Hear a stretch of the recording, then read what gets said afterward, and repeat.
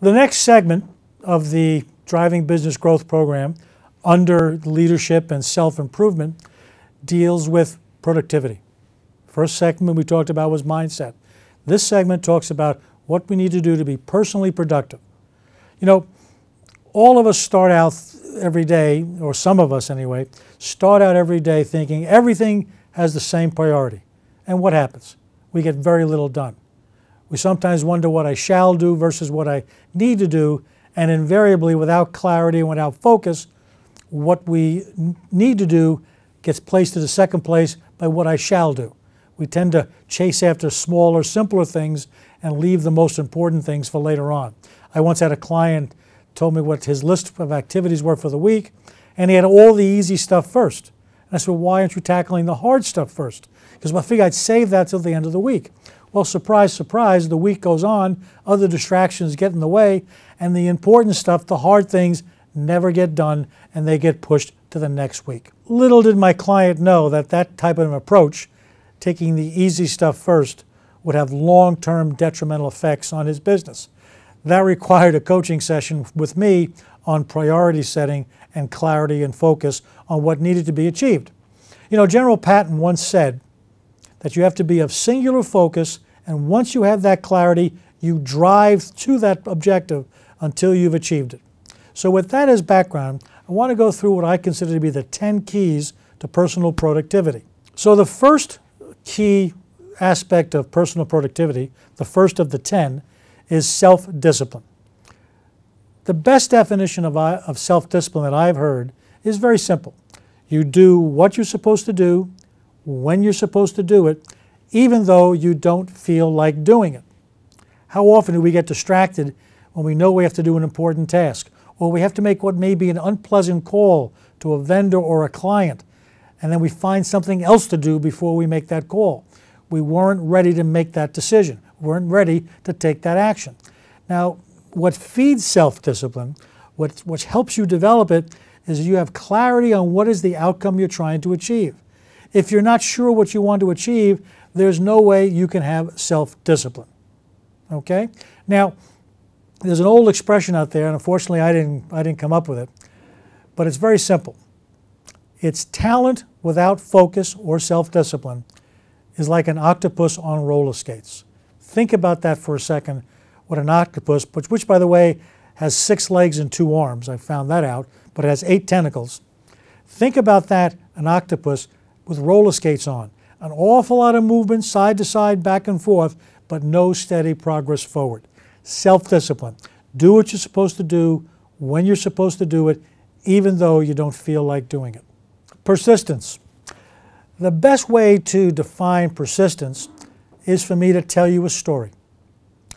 There once was a tribe in the Amazon jungle that had a 100% success rate that every time they did their rain dance, it rained. Now, this was pretty amazing because all of the neighboring tribes had a 50 at best 60% success rate on their rain dance. So that piqued the interest of a bunch of uh, anthropologists over here in Princeton University, and they piled all their gear into a canoe and they went deep into the Amazon jungle to live with the tribe that had the 100% success rate in their rain dance. And they lived with them for six months, studying them. And at the end of six months, they came out with this exhaustive report, which concluded that they didn't stop dancing until it rained. And that's what persistence is all about. Not giving up, pushing through to completion, and not, not trying to take an easy path when you find an obstacle. Persistence means not giving up. If there's something that you're passionate about, that you believe in, that has value, then by God, see it through to completion. You know, there are times, and we've all experienced it, when we're working on something and we hit a barrier or an obstacle we get knocked down, we get dirty. People who are resilient know how to get up, dust themselves off, take what they learned from that experience, and apply it to keep moving forward. That's what resilient people do. They keep moving forward. They are driven by that voice that says, You can do this. And when you couple resilience with persistence, with self discipline, you pretty much have an unstoppable formula for success. So, resilient people know how to keep moving forward even when they encounter a barrier or an obstacle. A next important component of personal productivity is clarity. So let me be clear. Clarity means you are crystal clear on exactly what you're trying to achieve. There is no doubt. I don't know if you saw the movie A Few Good Men, but do you remember that scene in the courtroom where Tom Cruise is questioning Jack Nicholson? And Jack Nicholson barks back at Tom Cruise, Are you clear? Are you clear? And that's exactly the importance of clarity. Because without clarity, without being clear, how do you know what resources you will need? How will you direct others? How will you know if you've achieved the, the, the, the outcome? Clarity is critically important and is a first step before you start to spend time and money and other people's times in achieving an objective.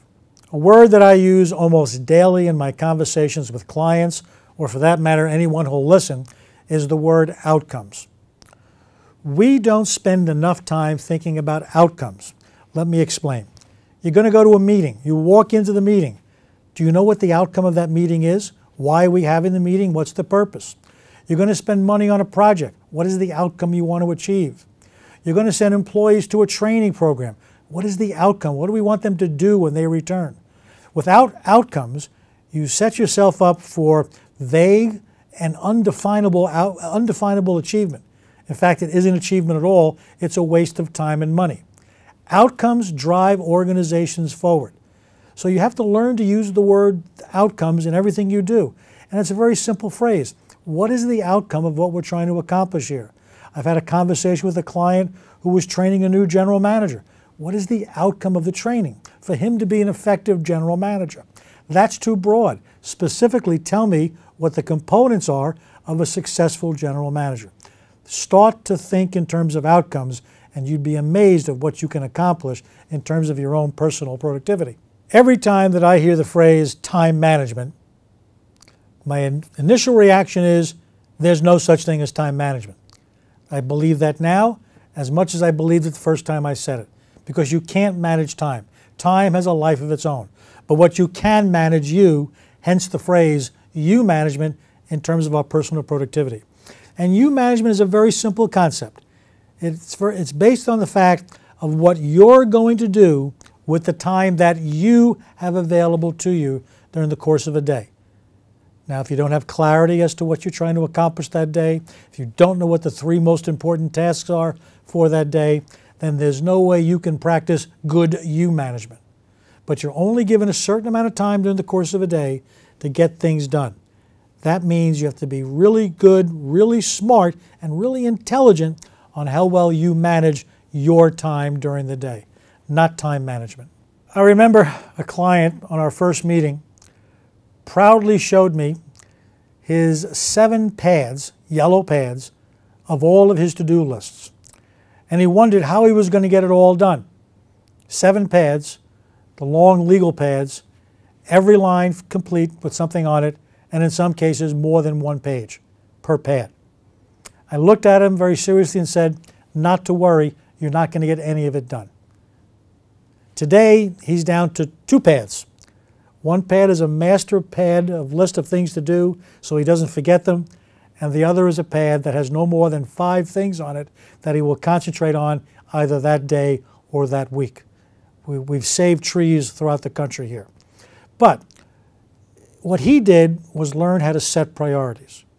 What's the most important things he needs to get done in order to achieve whatever objective he established in his vision, in his outcome. But equally important in terms of knowing what you're supposed to do is to also know what you're not going to do. I would suggest that all of you, at some point in time, sooner rather than later, sit down and make a list of all of the things that you do over the span of two weeks. Start that survey now. Write down every day everything you did. And at the end of those two weeks, take that list out and begin to cross off all the things that you should not be doing that can either be eliminated, delegated, or deferred to some future date. We tend to collect tasks. We're like a magnet sometimes. And unless we periodically stop and take inventory of what those things are, we become buried in overwhelm. We get buried in overwork. We get buried in frustration. Being successful has nothing to do with the length of your list, Actually, being successful has all to do with how short your list is and that it has the right things on it. So when you come to setting priorities, make sure they're the right things and you also know what things that you're not going to do. There's a great book out there that every time I ask someone to read it, I get back rave reviews. And the book is called The One Minute Manager Meets the Monkey, written by the same individual who wrote The One Minute Manager. Go get it and go read it because all of you are probably guilty of taking on other people's problems to solve. How many times has someone brought you a problem and you say, put it on my desk, I'll take care of it later? Or let me handle it, don't worry about it, move on to something else. You're becoming a magnet to other people's problems. What you've got to do is to establish some parameters, a barrier, protective shields, whatever you want to recall it, where you're not taking on problems that rightfully belong to others for others to learn how to solve. Now, when you take on problems from your employees, you're denying them the opportunity to expand their knowledge because more than likely they'll be confronted with that problem later on in the future. Do you want them to bring it to you again, or do you want them to be able to solve it on their own? So you've got to make the decision, and this is a cold turkey decision. Stop solving other people's problems. If people want to come to you and brainstorm possible solutions, then by all means brainstorm with them. You don't want to close your door to people needing help. But what you want to do is to make certain that you're working on those things that you're best able and suited to handle in terms of your ability and skills, and that your team are handling the things that are rightfully so belong to them and things that they should solve and things they should learn how to solve for the future. So stop being the world's greatest problem solver. Stop taking on other people's work.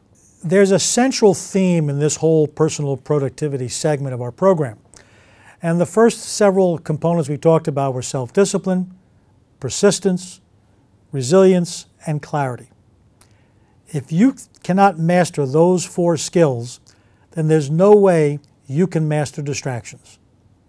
Because without resilience, without persistence, Without self-discipline, you can't have clarity, and without clarity, you're susceptible to being dragged in a number of, a number of different directions. It was a good friend once said to me, he called it the squirrel syndrome. You ever see a squirrel? He looks here, he looks there, he looks somewhere, he runs over there, he runs over there. That's you during the course of a typical day if you cannot master distractions. We'll never eliminate distractions because they're always there. But what you can do is have clarity as to what you want to do in the time you have allotted, you want to be able to say no in a respectful way to people who come to you and say, hey, Chris, do you have five minutes? Nothing ever takes five minutes. There's always a story. There's always more detail than you care to hear. But you have to be able to say no to protect and fight for your time. No one's going to leave you. No one's not going to bother you. No one's going to say, gee, Chris, why don't you go inside and take as much time as you need to work on this? It doesn't happen. So you have to protect your time, and one of the ways to protect your time is to be able to mitigate and reduce the impact of distractions. And it happens from self-discipline, persistence, resilience, and clarity. The last and final piece of our productivity segment has to deal with something I call the 20% rule. And I have a cheat sheet that I'm going to use for this, uh, for this segment, but I will say this as, a, as an opening remark. The 20% rule separates the brave from the cowardly. So I warn you at the front end, some of these things may scare the living dickens out of you. And you've got to be able, I believe this sincerely, you've got to be able to do some of these things, if not all of them. So number one of the 20% rule, 20% of your clients and customers should be fired. They are a pain in the butt and they're costing you time and money and your happiness. Number two, 20% of the things on your desk represent clutter and they're distracting you. Clean house and get rid of all this useless stuff. Number three, 20% of the expenses in your business are suspect and should be reviewed for elimination. That should be money in your pocket, not somebody else's. Number four, 20% of all of the correspondence you create, including emails, posts, and tweets, is useless and serves no purpose. Stop it. Number five, 20% of the content within everything you write can be eliminated without any sacrifice or dilution to your message. Make your point and move on. Number six, 20% of the prospects in your sales funnel can be eliminated. They're either price conscious, bottom feeders, tire kickers, or they're looking for free advice. This one is always a lot of fun with salespeople because their favorite response is, I just had a great meeting with so and so. You've had great meetings with so and so for the last two years. When are they going to buy? Get rid of the bottom feeders. Number seven, 20% of the steps in every project you manage can be eliminated. The more unnecessary steps there are, the more the likelihood that errors and miscommunication will occur. Number eight, 20% of the people on your project team can be eliminated. I don't mean fire them, but we, we, we tend to invite far too many people to work on projects and they're scratching their heads wondering why they're there. Only have the people who can be part of the solution. Number nine, 20% of what you do is irrelevant. Get clear on your purpose and why your role exists and focus on those things. Eliminate everything else or delegate it or defer it. And finally, number 10, this is one of my favorites 20% of all the meetings you attend are a waste of time and should never have been scheduled. If after you watch this video, you go to a meeting that you don't know what the outcome is of that meeting before you walk in, shame on you. And when you have a meeting, only invite the people who are going to be helpful and contribute to the solution or the outcome of the meeting. Don't invite others because you don't want to hurt their feelings. They would rather stay at their desk and do the work they're supposed to do during that time. Well, we've completed the second segment of pillar number one of our Driving Business Growth series, which dealt with leadership and self development, self improvement. And this segment dealt with per per personal productivity. And in this one, we covered self discipline, persistence, resilience, clarity, the importance of outcomes, you management, setting priorities and not to do lists, problem solving, distractions, and the 20% rule. All of those 10 pieces involve habits and skills that you either possess or need to possess or need to strengthen. So, like we did at the end of segment number one, I want you to take 15 minutes, review those 10 skills and habits, and identify at least two, or I say I should say at least one, or possibly two, and then from those two or that one, identify one or two things you're going to do to either strengthen that skill or habit or develop it. It's critically important that you master your own productivity if you expect to be successful in managing the productivities of others.